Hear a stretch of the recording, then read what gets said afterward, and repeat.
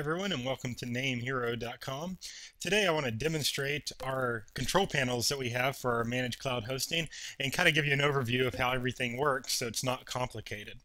So namehero.com is partnered with WebHost Manager and cPanel.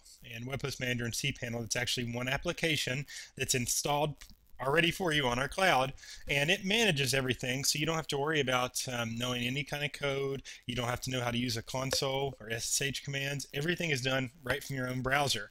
There's no need to have um, an IT guy. You can do everything inside your browser and I'm going to show you just how quick and easy that whole process can be.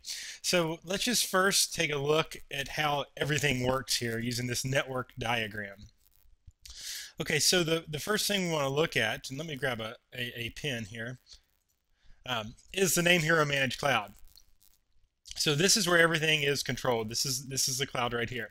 So down here, these are the users. And so this is an iPad and a phone and a computer. This is the visitors visiting your website. They access the cloud. Okay, now over here to the left, all this this illustrates how the control panels are set up. So you have Web Host Manager. And this is what you primarily control your whole hosting account with NameHero from, is you open up Web Host Manager. Now, each domain or account that you add to your hosting account has cPanel. So you can see this controls, Web Host Manager controls everything, but then each website has its own cPanel. Okay, so as my example here, I listed site1.com, it's got its own cPanel.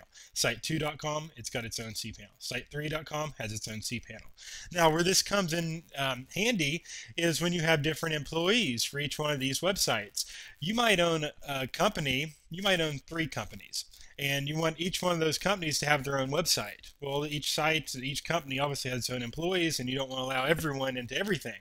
So you would just have yourself, the web host manager, log in, and then you would assign um, each user their privileges for each cPanel. And that's very easy to do. Um, so the way you want to look at it is Web Host Manager is the central control unit, and cPanel is the sub-control panel for each site. So I've made a couple slides here that kind of explain a little more. Web Host Manager is the central control panel for the entire account. This is where you add new domains to your Name Hero hosting account. This is where you add new websites. This is where you configure general services. Um, and i will show you a couple examples of that. And this is where you assign the user's access, managers SSL certificates, and also where you can manage some of your scripts. Okay, uh, cPanel, this is an individual control panel for each domain um, set up on the general hosting account. This is where the domain, you can upload files to that domain, you can set up email accounts, email forwards, um, all kinds of all, all, everything with your email for that domain inside that cPanel. This is also where you set up the MySQL databases, the MySQL users, and all the permissions of the MySQL for that individual website. This is also where you do the one-click installs. So, for example, WordPress, Joomla, the Revive ad server, these are all one-click installs, but if you want to install it on the domain, you do it through the cPanel. So let's take a quick look inside the actual cPanel so we can get an idea of where we are. Okay, so to first access your web host manager, you do that from NameHero. So on your screen right now is the namehero.com domain management portal. You will basically click login to WHM. This is how you begin accessing the entire platform. Okay, so you can see this is Web Host Manager. Now, most of the time, you're not going to have to do much in here at all. So if you don't, if you're not familiar with Web Host Manager, or if maybe all these options intimidate you, don't worry about it. You only have to use it very sparingly, and it's really just to add the domains. All this other stuff we can handle for you, or we do handle for you. Um, but you do have access. If you're a little bit more technical and want to go through these, you can, and, and we're here to answer any questions that you might have. But the majority of you out here using NameHero.com Managed Hosting, all you need to know how to do is add accounts. So the only thing that you have to do before you can add accounts is add a package. And we've we go over this in a couple different videos, but what I like to do is the package just tells how much the account can use.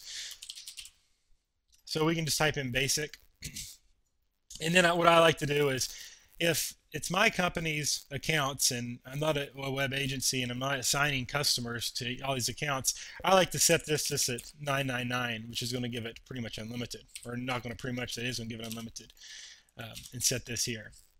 Um, as soon as I do that, then I can just add it. Okay, and you can see we've already we already have this package in here in the system, so um, it's not going to save. But um, when you want to create an account, you would just go right here. When you want to create a new domain, and you would add it in here, and you would select the package. Okay. Now this account is um, just allows for one site, so we can't add any more domains. Um, but if it if you order more than the business package, then you can add um, several different um, domains depending on the package. Uh, this is where you do it all though.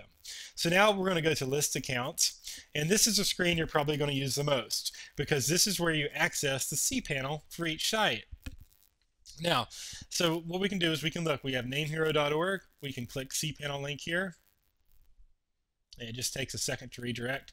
And now we are in the namehero.org cPanel. So this is a control just for namehero.org. And you can see we can do numerous things for the domain, such as the file manager and all these options up here. Um, image galleries, I don't know how much people use that really, but directory privacy, um, the backups, and um, you go down, we've got phpMyAdmin. And you can also add subdomains on inside of a inside of here so let's just say we have namehero.org, and let's say we buy namehero.net, we want to add it on here. We can set up an add-on domain just like that.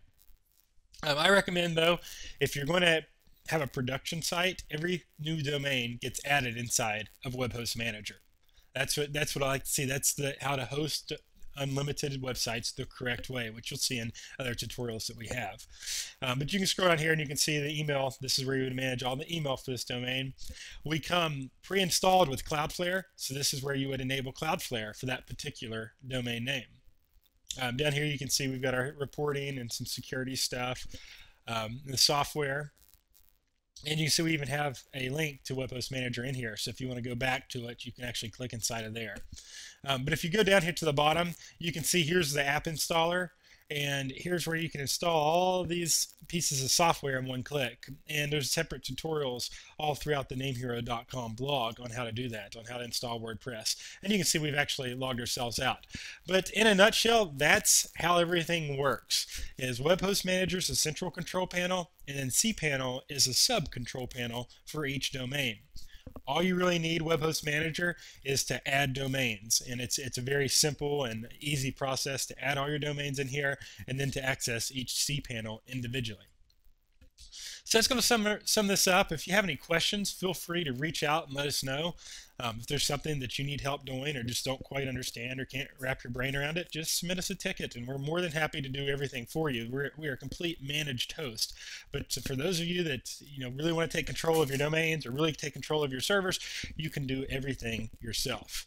So again, if you have any questions, let us know. Other than that, thanks a bunch for watching. We greatly look forward to serving you and helping your business grow.